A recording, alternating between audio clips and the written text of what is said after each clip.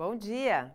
Hoje é quarta-feira, 1 de abril, e a partir de agora você fica bem informado de um jeito único. Confira os nossos destaques.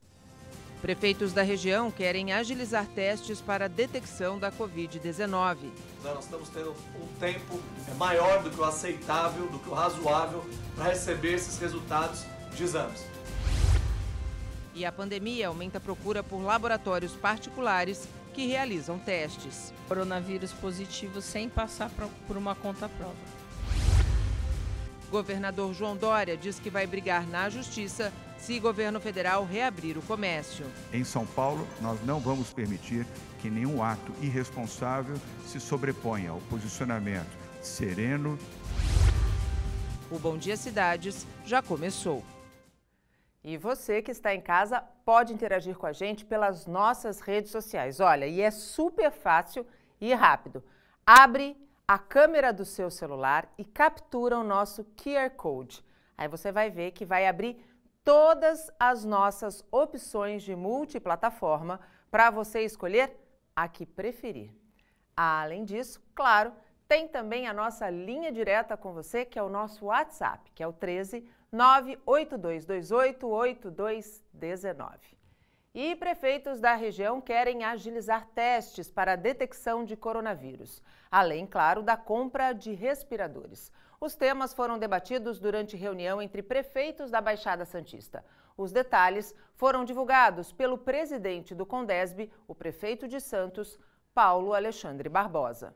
Fizemos nessa manhã mais uma reunião do Condesb com a participação de todos os prefeitos das nove cidades da Baixada Santista. E tratamos de assuntos importantes no combate ao coronavírus. Primeiro diz respeito à solicitação que o Condesb fará ao governo do estado para agilizar o resultado dos exames. Né? Nós estamos tendo um tempo é, maior do que o aceitável, do que o razoável, para receber esses resultados de exames. Isso acaba dificultando o trabalho realizado pelas prefeituras. Nosso pleito é por mais agilidade, celeridade na divulgação desses resultados para que a gente possa ter um norte real em termos de políticas públicas na área de saúde. E vamos também adquirir insumos para a saúde de forma conjunta, as prefeituras comprando em maior quantidade para que tenhamos um ganho de escala e redução de preço. Também discutimos sobre o comércio. Nós vamos manter a restrição de abertura é, dos comércios na Baixada Santista até o fim da quarentena. A quarentena se encerra no próximo dia 7 de abril, conforme decreto do governador eh, João Dória. Até lá, nós vamos avaliar a evolução do número de casos na Baixada Santista e vamos também manter contato com os sindicatos, né, com o comércio, com os líderes do setor de prestação de serviços, justamente para que a gente possa, se for liberado a partir do dia 7, estabelecer uma abertura controlada, é, gradual, de maneira que a gente possa manter a população em segurança. Até dia 7 de abril, quarentena, comércio continua fechado e as restrições estão mantidas. Manter a população em segurança. Até dia 7 de abril, quarentena, comércio continua fechado e as restrições estão mantidas nas nove cidades da Baixada Santista. Também discutimos aqui um calendário conjunto para educação, as redes municipais de educação. Nós temos profissionais de educação, professores que atuam em mais de uma cidade da Baixada Santista e é muito importante que a gente possa ter um calendário conjunto. Definimos que isso vai acontecer. No decorrer dessa semana, vamos discutir as possibilidades de recesso, de férias, especialmente porque o mês de abril será um mês já impactado para a rede de ensino. Dificilmente teremos a volta de aulas no mês de abril, então vamos ter esse calendário conjunto e no sábado, que é a próxima reunião dos prefeitos, nós vamos definir esse calendário para toda a Baixada Santista. É, o último ponto foi a questão da estrutura hospitalar. Né? Nós temos a necessidade, os municípios estão fazendo um grande esforço né? É, orçamentário, financeiro, de recursos humanos, para adotar cidades de condições para receber esses pacientes do coronavírus, é, montando hospitais de campanha, abrindo é, leitos em prédios públicos já existentes. E qual é o nosso foco, a nossa prioridade? É viabilizar os respiradores, que são equipamentos fundamentais para salvar as pessoas que terão um estado mais grave dessa doença. Nós estamos fazendo também é uma manifestação do Condesb solicitando, já que o governo federal concentrou é, a, a, os produtos né, de respiradores, é uma manifestação do Condesb solicitando, já que o governo federal concentrou é, a, os produtos né, de respiradores, os fabricantes estão sendo obrigados a destinar ao governo federal como prioridade. Nosso pleito é que o Ministério da Saúde possa priorizar a destinação dos respiradores para a Baixada Santista em função das características da nossa região, em função de termos um grande percentual de idosos também. Vamos seguir trabalhando para enfrentar e vencer o coronavírus. E o Paulo Alexandre Barbosa, prefeito de Santos, também proibiu, através de um decreto, a venda de pastel e caldo de cana na feira durante a pandemia do coronavírus. O objetivo é evitar a aglomeração e, consequentemente, a propagação da Covid-19. E ainda falando sobre as ações de enfrentamento à Covid-19, nós vamos conversar ao vivo com o repórter Fabiano Roma, que está com o prefeito de São Vicente, Pedro Gouveia. Fabiano, bom dia. A Prefeitura adquiriu testes rápidos para a detecção do coronavírus. A partir de quando esses testes já vão estar disponíveis na rede pública? Bom dia para você, Nathalie. Bom dia para quem nos acompanha pela Santa Cecília TV. Antes da gente falar de Covid, Nathalie, eu queria pedir licença para mostrar aqui onde a gente está. Nós temos uma visão panorâmica aqui da Ponte dos Barreiros e a gente já vê ao fundo uma máquina trabalhando. Nós vemos aqui, não é por acaso, a gente queria mostrar realmente essa cena para você, que é uma cena que traz muita esperança para quem mora aí na área continental de São Vicente, que tem sofrido desde que a ponte foi interditada. Essa imagem significa que os trabalhos começaram. Eu já vou passar a pergunta aqui para o prefeito. Prefeito, bom dia ao senhor. É, começou a obra então, prefeito? Em quanto tempo deve ficar pronto? Bom dia, bom dia Nathalie, bom dia a todos os amigos da TV Santa Cecília. Nós já iniciamos a obra, uma boa notícia para São Vicente, principalmente para os moradores da área continental. As obras né, já estão iniciadas desde segunda-feira. Nós percebemos aqui a movimentação de máquinas, de trabalhadores. A obra ela tem a previsão de ficar pronta em 90 dias. Então nós vamos correr, nós vamos aqui estar acompanhando todos os dias para que essa obra possa superar também a nossa expectativa, assim como todos os prazos burocráticos de engenharia, de projetos foram superados. Lembrando que nós fizemos tudo isso a partir de dezembro, quando o presidente Jair Bolsonaro nos liberou o recurso, nós assinamos convênio com a Caixa e tivemos que cumprir uma série de requisitos para poder chegar nesse momento, contratar uma empresa e iniciar as obras. Prefeito, a gente sabe que são mais de 50 estacas, tem uma longarina também que vai ter, eh, vai sofrer aí a, com a reforma, né? Sofrer no bom sentido, Sim. né?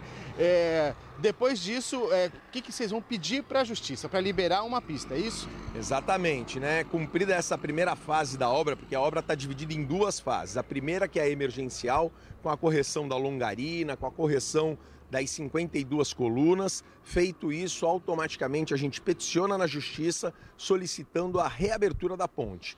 Vamos tentar fazer isso em tempo recorde, porém sempre frisando aqui a nossa responsabilidade de fazer uma obra, né, com boas condições que garanta a segurança das pessoas. Então, nós temos pressa, mas temos a responsabilidade de fazer uma obra que fique aqui muito boa. E paralelamente a isso, a gente já vai estar contratando a segunda fase da obra. O que nós não podemos hoje é perder tempo. Vamos continuar trabalhando para que a gente possa entregar essa obra aqui o mais rápido possível à população da área continental. É isso aí, prefeito. Muito bom o senhor ter ressaltado isso. Tem processo a serem seguidos, processos Sim, burocráticos, né? É verdade. A gente faz a nossa parte, né? Mas Sim. a gente tem que respeitar a lei.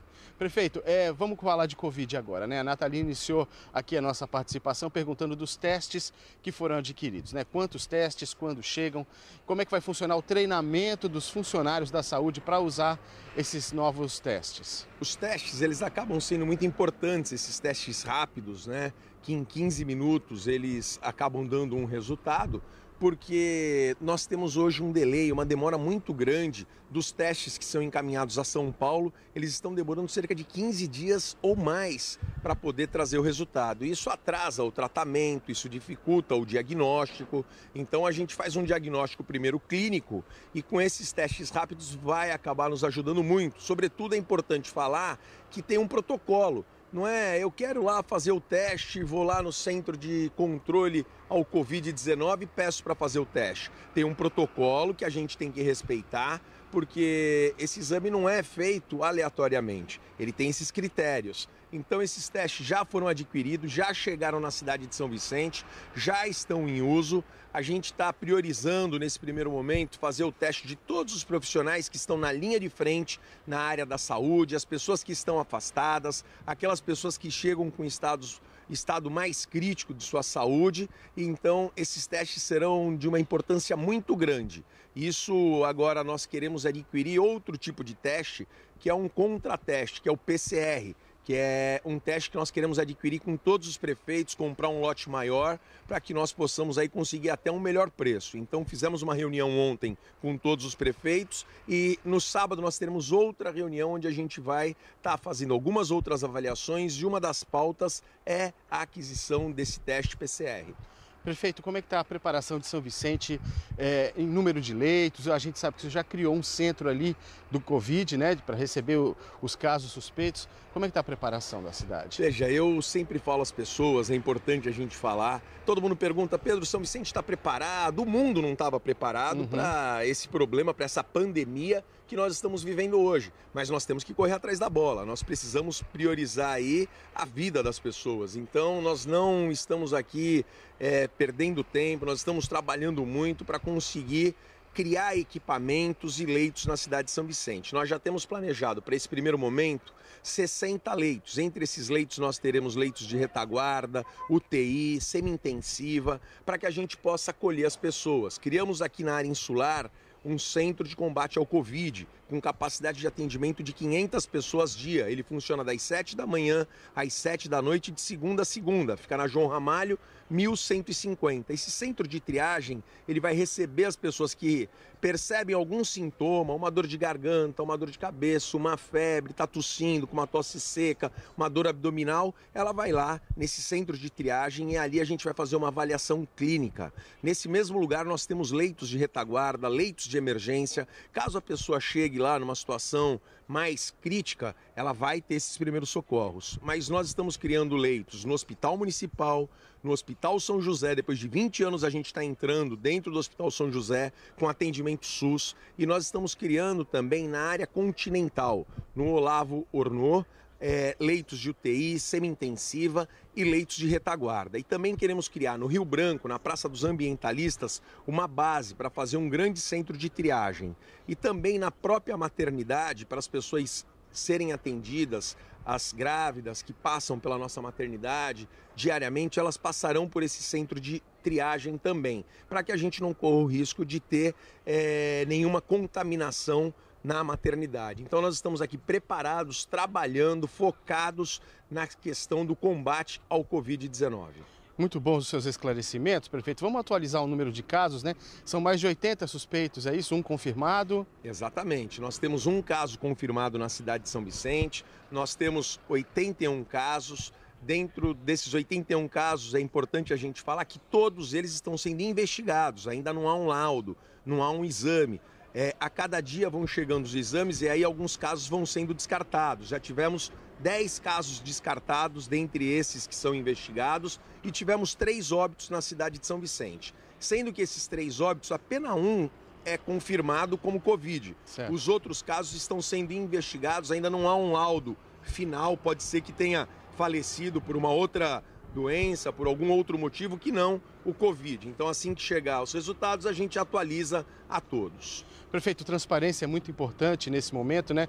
E a gente percebe uh, que todos os prefeitos da Baixada estão unidos, trabalhando realmente para conter o avanço desse vírus aqui na nossa região e, pelo jeito, está dando resultado, né, prefeito? Às vezes as pessoas ficam insatisfeitas, Sim. sofrem com o problema econômico, a gente sabe que é uma realidade, mas eu queria deixar o senhor à vontade agora, prefeito, para dizer da necessidade das pessoas obedecerem essas regras, para que a gente, no futuro, não se arrependa de não Sim. ter seguido, não é isso, prefeito? Exatamente. É muito importante aqui é, todo esse movimento que há hoje entre as nove cidades.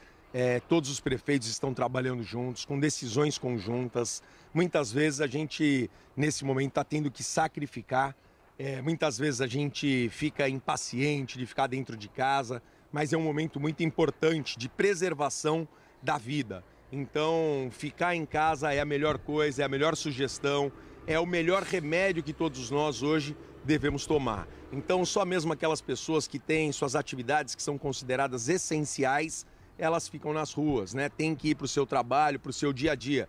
Mas as demais pessoas a gente insiste para que elas continuem em casa, vamos ficar nessa quarentena, seguir à risca né, todas as determinações do Ministério da Saúde, de todas as autoridades da saúde. E queria aqui, para finalizar, agradecer a todas as pessoas que estão sendo solidárias, todas as pessoas que estão nos ajudando. Nós criamos uma ação humanitária que muitas pessoas se colocam voluntariamente nos ajudando com doações, desde aquela pessoa que pega na sua prateleira um sabonete e doa, até aquelas pessoas que fazem doações maiores. A essas pessoas eu quero agradecer muito aqui, que Deus possa abençoar você, sua família, porque é através dessas doações que a gente tem ajudado as crianças que hoje né, estão em alguns lugares mais periféricos, que às vezes não têm acesso à alimentação, produtos de higiene, é, produtos de limpeza, e nós temos ajudado aí várias famílias com essas doações. Então finalizo aqui agradecendo e mandando um grande beijo no coração de todo o povo vicentino e de toda a Baixada Santista. Muito obrigado, prefeito, pela sua participação aqui com a gente. A gente agradece também de coração esses esclarecimentos. Vou devolver para a Nathalie. Antes, eu quero saber se você tem alguma pergunta, Nathalie. Sim. Mais alguma coisa a acrescentar? Tenho sim, Fabiano. Primeiro, agradeço em meu nome também, em nome da Santa Cecília TV, a disponibilidade do prefeito de estar nos atendendo. A gente sabe que a agenda está muito corrida de todos os chefes do, de executivo aqui das nossas cidades. Mas eu queria saber do prefeito se é, por exemplo, a exemplo de, de Guarujá se a prefeitura pretende dar algum incentivo fiscal aos comerciantes é, em virtude aí desse, dessa paralisação momentânea e tão necessária para que vidas sejam preservadas. Muito bem colocado, Nathalie. Vou passar para o prefeito. A Nathalie reforça o agradecimento, prefeito, dos seus esclarecimentos, já está aqui com a gente dando essas informações. Ela pergunta é, o que, que, a prefeitura está preparando para os comerciantes, que tipo de incentivo, é, de benefício que a prefeitura está preparando para eles nesse momento, que eles têm, estão de portas fechadas, né? Verdade. Nós temos feito todo um trabalho, todo um estudo com a nossa equipe da Secretaria da Fazenda, através do comando da nossa secretária, que é a Miriam para ver aquilo que a gente pode oferecer para os comerciantes e para a própria municipalidade. Mas ainda é muito cedo, porque nós sabemos aí da dificuldade dos municípios nesse momento. Só para vocês terem ideia, semana passada diminuíram em 45% todos os repasses do governo federal e do governo do estado. 25% da arrecadação de contribuição municipal, ISS, PTU. Então, nós também estamos vivendo um momento muito difícil, com queda na arrecadação e os compromissos continuam e alguns da saúde até aumentando. Então, nós precisamos ter, primeiro, algum posicionamento por parte do governo federal, do governo do estado, para que assim a gente possa criar algum benefício, que a gente possa dilatar prazos, que a gente possa criar incentivos. Agora, nós estamos aguardando algumas respostas desses governos, tanto federal como do estado, para que assim a gente possa também caminhar sobre essas decisões feitas é, tanto no Estado como na União. Tá ok, prefeito. Muito obrigado mais uma vez pelos seus esclarecimentos. Nathalie, com você. Obrigada, Fabiano. Bom trabalho. E abril é um mês apontado por especialistas como período de pico para a transmissão do novo coronavírus. E assim como São Vicente, Santos também contará com reforço no diagnóstico da doença. 20 mil exames PCR devem atingir até 100 pessoas por dia. Uma das principais estratégias que nós precisamos para o enfrentamento ao coronavírus é um alto grau de testagem. E a partir de hoje, a Prefeitura de Santos passa a ter um parceiro externo, um laboratório, onde nós vamos realizar os testes de PCR.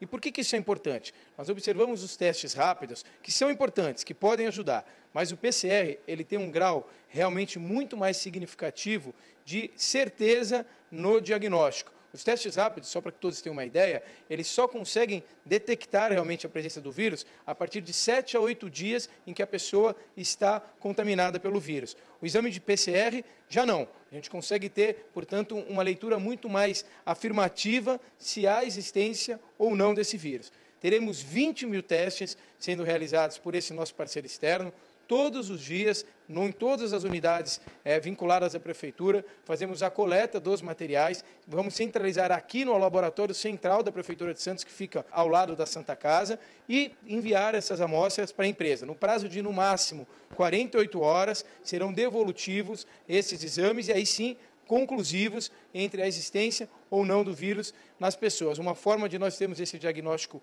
rápido e assertivo com a devida qualidade de um teste altamente validado cientificamente. E ainda nessa edição, uma reportagem vai mostrar a procura, na verdade, o aumento na procura por laboratórios particulares para a realização de testes da Covid-19. E também uma entrevista ao vivo, a gente vai falar um pouquinho mais sobre como age o vírus no organismo. É já já, não sai daí, não pode perder. E apesar das orientações para os transportes públicos terem sido disponibilizar álcool gel, evitar aglomerações e ter apenas passageiros sentados, não é isso que uma moradora da região presenciou a caminho do trabalho. Nas imagens é possível ver a quantidade de pessoas aglomeradas dentro do ônibus intermunicipal número 942, que sai da área continental de São Vicente em direção a Santos. Segundo a telespectadora que nos enviou o vídeo, motorista não controlou a quantidade de pessoas que estavam entrando e disse que o transporte funcionava na escala de sábado, ou seja, com a frota reduzida. Até a frota ser reduzida, foi um anúncio feito pela, pelo Condesb, inclusive, na semana passada. Foi um anúncio feito em nível estadual pelo próprio governo do estado. Todas as cidades do estado de São Paulo reduziram a frota. No entanto, reduzir a frota não pode e não deve significar que as pessoas que precisam ainda do transporte coletivo tenham que ficar sujeitas a riscos.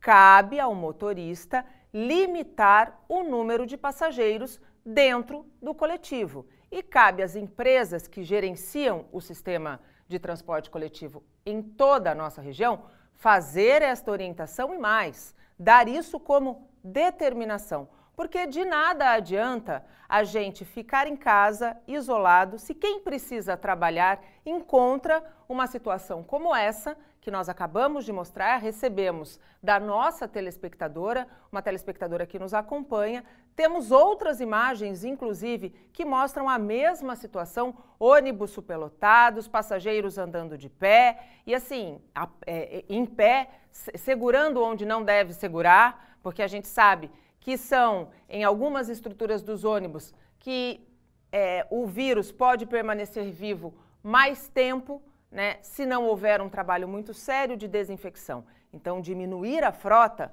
eu sou a favor, desde que a diminuição da frota não signifique, não seja uma ideia, é, desculpa o termo que eu vou usar aqui, burra, né? Porque não adianta diminuir a frota sem um estudo e planejamento de quantas pessoas usam o transporte coletivo diariamente. Para essas pessoas, o transporte tem que funcionar com segurança e com qualidade. A ABR Mobilidade informou que trabalha para manter a operação mesmo com a redução da demanda. Segundo a empresa, as linhas e VLTs estão em operação. Estão mesmo e não é isso que a gente está discutindo. A questão é, devem ficar em operação e atender, vou repetir aqui, com segurança e com qualidade. E o governador do estado, João Dória, reforçou a necessidade do isolamento social e disse que vai brigar na justiça se o governo federal reabrir o comércio. Durante entrevista coletiva, o governador João Dória anunciou que, caso o governo federal decrete a reabertura do comércio antes do fim da quarentena, o Estado vai tomar medidas judiciais. Para evitar que isto aconteça. Em São Paulo, nós não vamos permitir que nenhum ato irresponsável se sobreponha ao posicionamento sereno, equilibrado e responsável do Estado através do seu governo e das prefeituras de São Paulo. O governador não respondeu se a quarentena prevista para durar até a próxima terça-feira, 7 de abril, vai ser prorrogada. Até lá é a quarentena, as pessoas deverão respeitar em todo o estado de São Paulo a determinação do governo do estado de São Paulo para que fiquem em casa, nas suas cidades ou no campo, mantenham-se em casa. Oportunamente, isso será feito adiante, nós vamos avaliar. Neste momento, a orientação é fiquem em casa. Dória anunciou que o Estado vai liberar até 31 de julho 100 milhões de reais para auxiliar santas casas e hospitais municipais, totalizando 300 instituições. Os repasses vão ser feitos mensalmente em parcelas de 25 milhões de reais. Para que hospitais municipais e santas casas possam ter um reforço no custeio para o atendimento aos seus pacientes. O Estado também vai distribuir aos caminhoneiros 140 mil kits de alimentos. Nós teremos marmitex com alimentação completa e kit de lanches para os caminhoneiros em 43 pontos de 19 rodovias concessionadas no estado de São Paulo. Estudar em casa é uma forma de manter as tarefas em dia para alunos de escolas e faculdades durante a quarentena. Na reportagem a seguir, você vai ver o que fazer para manter a concentração e aproveitar essas aulas à distância da melhor forma possível. Neste vídeo, uma brasileira que mora na Itália e tem um blog fala das fases da quarentena. Por lá, a medida foi iniciada há quase um mês. Segundo ela, na primeira semana o clima foi de férias. Depois veio o tédio. E na terceira semana, a tristeza. Ninguém estava preparado para isso, a gente não sabia quanto tempo ia durar. Criar agora... projetos pode ajudar a superar essa fase de isolamento social por causa do coronavírus. Tem muitas plataformas de ensino regular que estão liberando o acesso para que a, é, a, gente continue estudando. Então não existe motivo para a gente achar que Netflix, quebra-cabeça e brincadeira dentro de casa vai conseguir manter a nossa sanidade mental por dois meses. O ensino à distância foi a solução adotada por várias instituições de ensino, como a Unisanta, durante a suspensão das aulas na quarentena. Marta Vergini é especialista em concursos e oferece cursos em redes sociais. Ela explica o que fazer para que as aulas nas plataformas online sejam bem aproveitadas. Entenda que você pode fazer sessões menores focadas. Então, ao invés de querer estudar uma hora, duas, três direto, divida em períodos menores, de 25 minutos, com 5 minutos de intervalo. E aí você repete se você ainda estiver bem. A intenção é que você tenha fluência, que ao final da sessão de estudo você tenha de fato entendido o que se dedicou.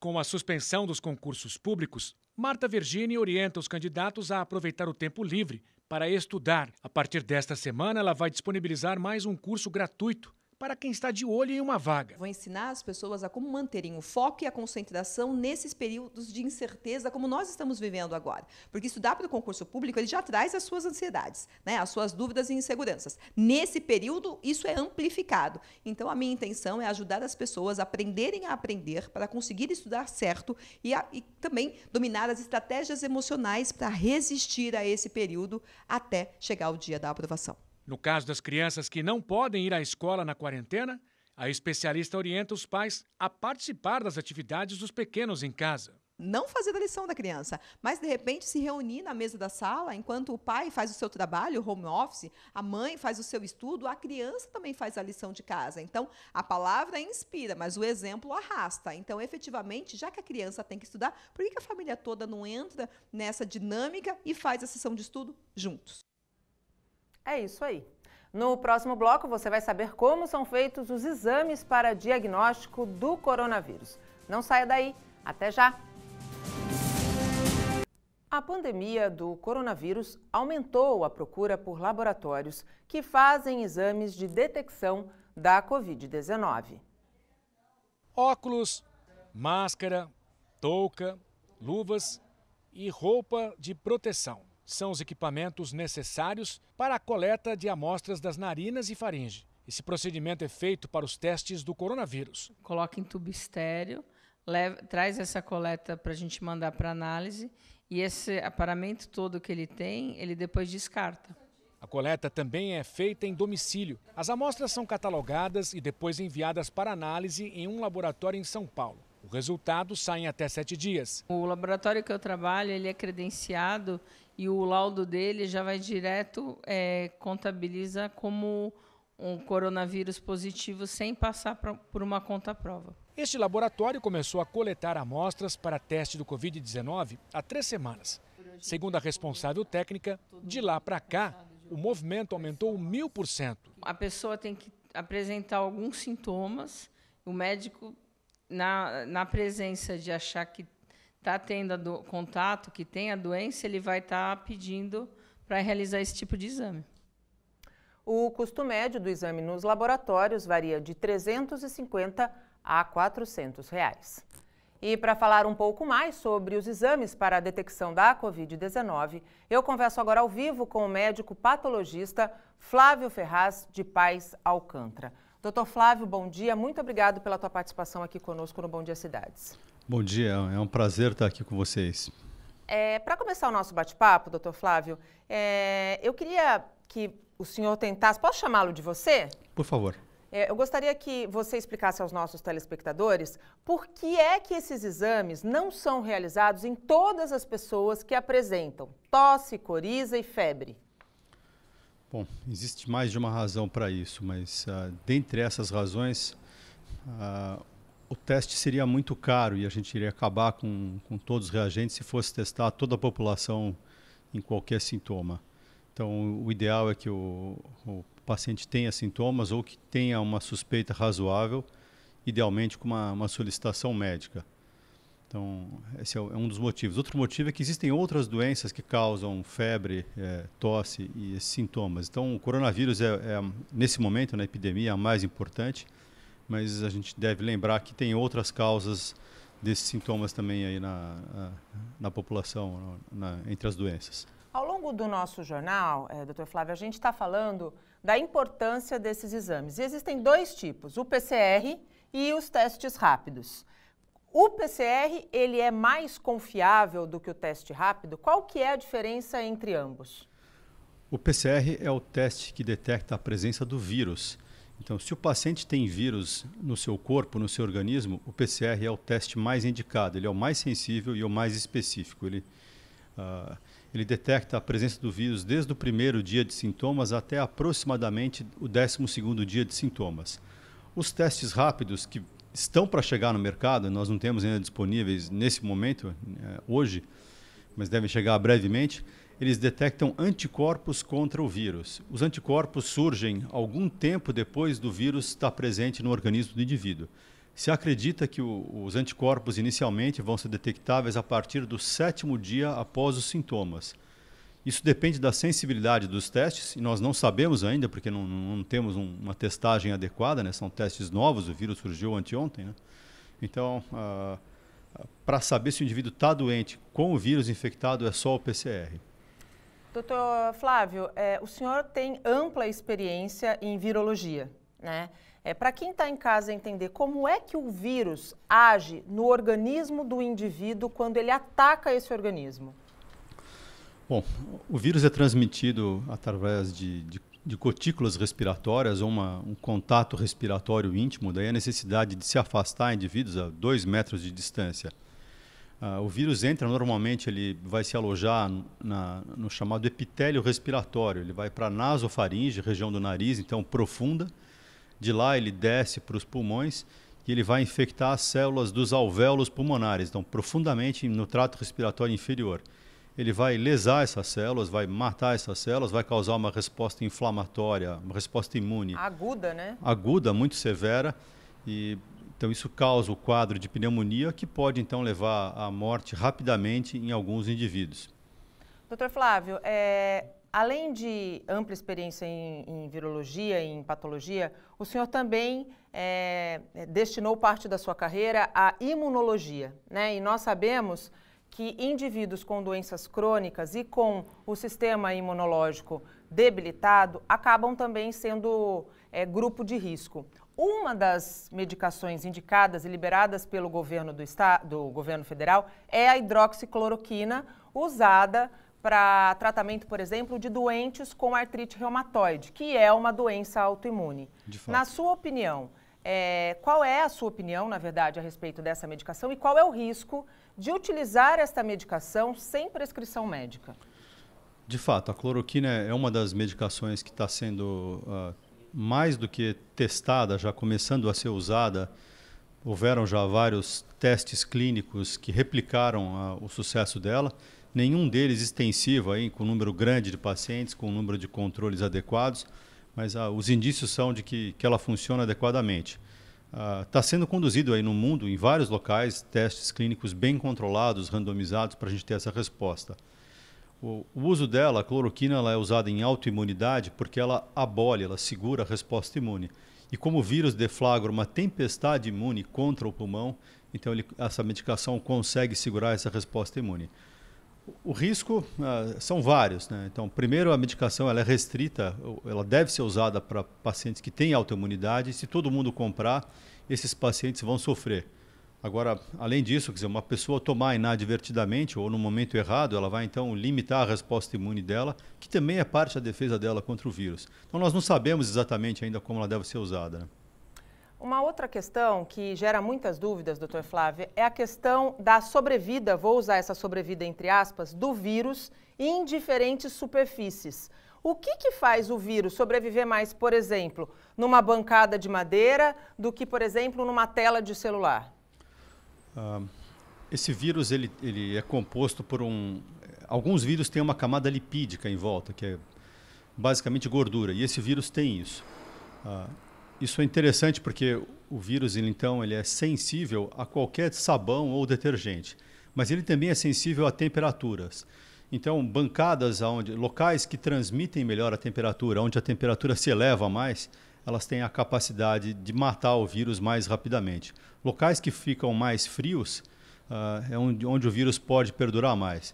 Esse vírus, na verdade, por um, alguma coisa como 15 minutos a 60 graus, está demonstrado que a, o número de partículas virais diminui uh, em, uh, em, magnitudes logarítmicas, ou seja, você tem uma queda de mais de milhares de vezes ou até milhões de vezes o número de partículas virais após 15 minutos a 60 graus. E essa é uma estratégia que tem sido usada uh, para descontaminação de alguns, alguns equipamentos de, de proteção individual, por exemplo. O senhor é, tocou numa questão extremamente importante, que é um hábito muito simples, que está ao alcance de todos, e que muita gente acha que é menos importante do que, por exemplo, o uso do álcool gel, que é o lavar as mãos com água e sabão. Isso é mais importante do que o uso do álcool gel, não é, doutor? Olha, uh, eu não, sei, não saberia dividir, em, em classificar em mais importante ou menos importante. Uh, as duas alternativas são importantes, mas o álcool gel ele não pode ser usado numa mão suja. Exatamente. Então, se você tem a, a, mão com sujidade visível, ela tem que ser lavada primeiro para depois passar o álcool gel. Eu acho que a estratégia mais importante para a população hoje em dia é o uso da máscara. Foi demonstrado aí recentemente, há poucos dias, em, alguns estudos populacionais, uh, em que nos países onde a população usa máscara de maneira preventiva, então todo mundo usando máscara, o número de, de, de vírus circulando cai sensivelmente e a epidemia é controlada. Então a mensagem principal, acho que para o nosso país, vai ter que nós vamos ter que mudar o nosso hábito, a nossa cultura e todos vamos ter que sair de máscara na rua. E essa máscara, se não houver máscara cirúrgica, e não vai haver máscara cirúrgica para todos, nós vamos ter que fazer em casa, fazer máscaras de pano. Cada um pode fazer a sua na, com o coração, com a bolinha, como quiser. E aí, depois do uso, higieniza, lava, deixa secar e volta a usar. Sim, qualquer máscara é melhor que nenhuma máscara. Então, uma máscara é importante uh, para a população. E esse é um hábito que nós não temos, né? nós vamos ter que mudar e os asiáticos já têm. E isso deve ser o motivo principal pelo qual os países asiáticos estão tendo um sucesso muito maior agora na contenção da crise do que nós aí ocidentais. Existem outros tipos de coronavírus, né, doutor? Não é só esse que causa a Covid-19. É verdade. A gente já tinha circulando uh, no mundo quatro coronavírus que causam uh, gripe, causam gripe não, causam resfriado comum. Eles causam, portanto, infecção no trato respiratório superior, no nariz apenas e não, e não nos pulmões. Esses eram, eram vírus uh, praticamente inofensivos, tinha sido até feito estudos já em voluntários humanos inoculando o vírus neles. Uh, e, e, era um vírus tranquilo. Depois surgiu em 2004 a, a SARS, uh, 2003, 2004, surgiu também na China e foi um, uma mortalidade uh, bem significativa de 10%. E posteriormente, em 2007, surgiu no Oriente Médio a chamada MERS, MERS, que era uma a MERS é uma síndrome que veio do dromedário. Os dromedários tinham esse vírus, têm esse vírus e pularam, esse vírus pulou para o humano e humano se, os humanos se contaminaram. Era uma, um vírus altamente transmissível e altamente, uh, com, desculpa, não tão, não tão transmissível, mas altamente letal. Uma letalidade próxima aí de 37%, 40%. Mas por ser tão letal, ele foi também contido rapidamente, que é a, a falha do vírus na, na, na sobrevivência, nesse caso, foi essa. É, a gente, a Covid-19, esse vírus que causa a Covid-19, para deixar todo mundo tranquilo, não passa de animal para humano nem de humano para animal, né? Não há estudos que comprovem isso. Não, ainda. assim, assim, eu, o, não passa para os pets nossos em casa, mas ele veio de um animal. Ele, ele foi demonstrado como a, a sequência genética dele é muito similar, é 98% similar à de morcegos. Uh, na verdade, o estudo original, um dos estudos originais publicados na China, acredita que haveria um hospedeiro intermediário entre o morcego e o ser humano, talvez até uma cobra. Então, o vírus passou de alguma maneira por esses organismos e, e chegou no, no, ser humano. Isso porque na China eles comiam, né, uh, eles vendiam, comercializavam animais né, e, uh, num mercado aberto. Então, devia ter muito, muita mistura de excrementos, sangue, urina desses animais e, portanto, de vírus. Né? Então, uh, facilitou essa, essa mistura e transmissão para o ser humano. Mas para pets não passa? Até onde se sabe, não, não passa. A família coronavírus, uh, coronaviridae, então é uma família de, de, de, vários vírus, não apenas esses quatro que infectam humanos, mas existem dezenas de vírus coronavírus. Eles infectam mamíferos variados, aves, baleias.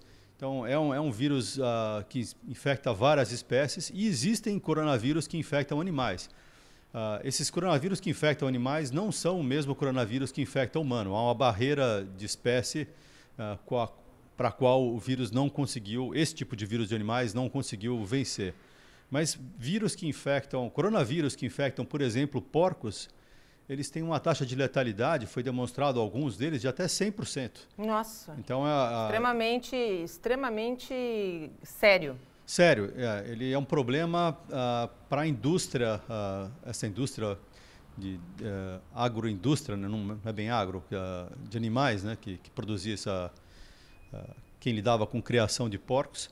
E isso chegou Suinocultura, a ter... né? Suinocultura, exato. Então eles tiveram um extermínio massivo, tiveram que isolar, liquidar, a, a matar esses animais para impedir a disseminação desse vírus. Então ele, ele, ele é estudado há bastante tempo, na verdade não é exatamente novo, uh, mas uh, nessa escala de, de contagiosidade, que é o que esse vírus mais tem, a né, capacidade de se espalhar, Sim. isso é novo. Agora, eu acho que o mais interessante a gente saber é que o indivíduo assintomático, né, o que não tem sintomas, é a maioria. Então, a maior parte do, do, das pessoas infectadas não tem sintomas e essas pessoas estão transmitindo os vírus. E é por isso que o uso da máscara, que é um hábito que nós vamos ter que adquirir, vai ser importante. Porque eu posso estar passando o vírus para você ou para qualquer pessoa na minha volta aqui e ninguém saber que eu estou infectado, nem eu mesmo. Né?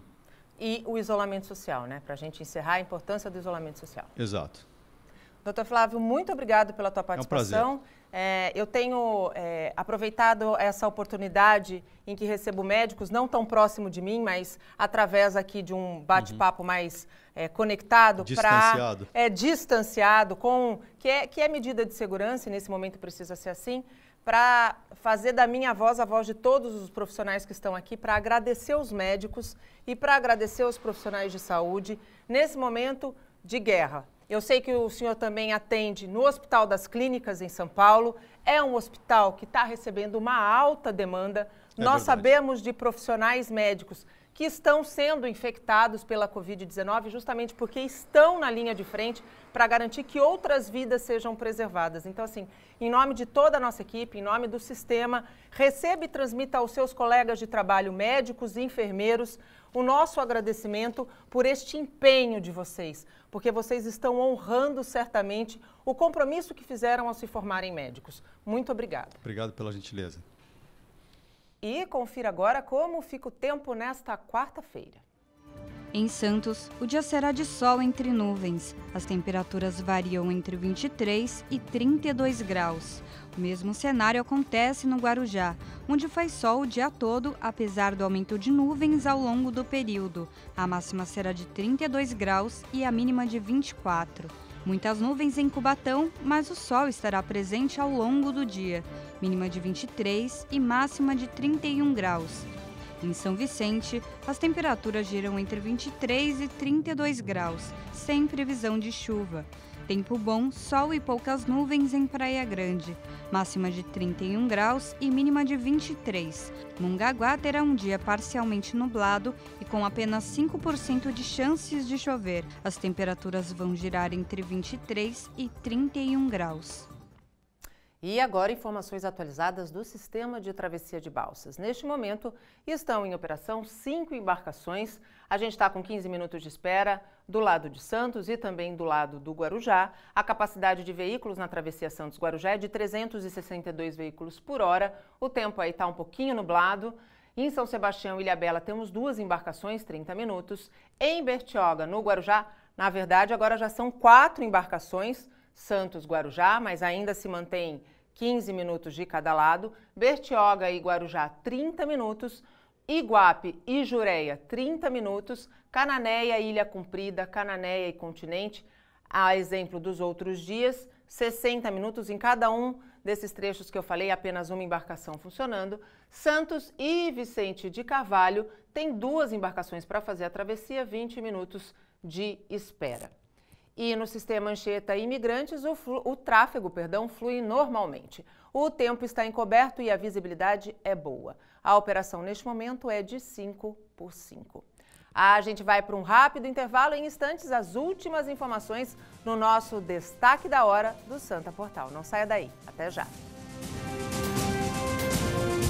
Estamos de volta, agora são 8 horas e 50 minutos. Chegamos ao último bloco do Bom Dia Cidades e já está comigo Gustavo Klein, editor-chefe do Santa Portal. Gustavo, bom dia. Bom dia, Nathalie, tudo bem? Temos bastante notícia fresquinha a respeito do, do dos impactos né? do, da Covid-19. Vamos começar, antes de falar do número de casos, vamos começar a res, falando a respeito do pronunciamento do presidente Jair Bolsonaro. A impressão que eu tive ontem é que ele deu uma diminuída no tom e evitou é, o enfrentamento, aquela crítica mais dura com relação ao isolamento social. Você teve essa impressão também? Tive essa mesma impressão. É, durante o dia se falou muito que ele que havia escrito o discurso dele, né? Normalmente não é ele, é algum assessor. Meu Deus. Isso acontece com todo mundo que ele havia escrito o discurso. Então a gente ficou com, aquela com expectativa muito medo, do né? que A semana passada o discurso dele foi, foi muito fora da realidade. Mas o discurso de ontem, eu acho que até por pressão das alas do governo, da ala militar do governo, inclusive, que não estava satisfeita com, o, com o que ele estava falando, com os ministros, o Sérgio Moro, o Paulo Guedes, que se juntaram ao Luiz Henrique Mandetta é, na defesa das medidas, ele reduziu o tom, não criticou, não diminuiu o impacto, disse que a missão dele é salvar vidas, quer dizer, ele está fazendo, fez ontem, esperamos que, além das palavras, na prática isso se confirme, o que se esperava dele desde o início dessa epidemia. O que não evitou panelaço ah, pelo Brasil, aliás, aqui na nossa cidade, vários bairros da cidade, durante os cerca de oito minutos de pronunciamento, houve panelaço, né? Houve panelaço. Ali na minha vizinhança, morando em Baré, é, foi mais forte do que nas outras ocasiões em que ele falou. Foi um panelaço bem forte, estamos vendo A gente está vendo imagens, inclusive, de telespectadores que nos enviaram é, a respeito é, do momento em que ele estava falando e todo o pronunciamento do presidente nos últimos pelo menos 10, 12 dias tem tido essa repercussão, né? É isso aí. Ele, ele perdeu, claro, com essas atitudes todas dele agora com o coronavírus, uma parte do apoio da classe média, que foi o que o elegeu, né? A classe média que fez a diferença ali na eleição dele. Perdeu uma parte desse apoio, ele tem ainda aí dois anos e meio para recuperar esse apoio antes das eleições, caso e aquela expectativa de, da saída do Mandetta, ontem mesmo o presidente Jair Bolsonaro disse que não tem tensão nenhuma sobre o Mandetta e que ele continua no cargo, né? Exatamente. Uh, muito se falava aí dos atritos internos, numa reunião tensa que teria acontecido no fim de semana, em que o Mandetta teria dito ao presidente que não ia se demitir, que se o presidente quisesse que o demitisse. E se o discurso, se o discurso do governo for ser aquele que o Bolsonaro disse ontem no pronunciamento, o Mandetta vai continuar, né? Porque está plenamente de acordo com o que deve ser feito. É, bastante coerente, sem dúvida nenhuma. É, uma outra é, necessidade do governo, não, acho que não é nem necessidade, é obrigação do governo, em momentos de crise, como acontece mundo afora, é a gestão da questão econômica. Né? Na semana passada, nós tivemos o anúncio de importantes medidas por parte do BNDES, por parte do Banco Central, por parte da própria Caixa Econômica Federal. No entanto, nós discutíamos, foi na sexta-feira o anúncio dessas medidas, a necessidade, discutimos entre a gente aqui na redação, a necessidade de que essas medidas fossem implantadas de imediato, porque de nada adianta o discurso bonito se a coisa não for colocada na prática. E parece que ainda não foi e que a expectativa é só Segunda quinzena de abril, né? Segunda quinzena de abril para que essas medidas cheguem de fato à população, que é quem está precisando nesse momento crítico.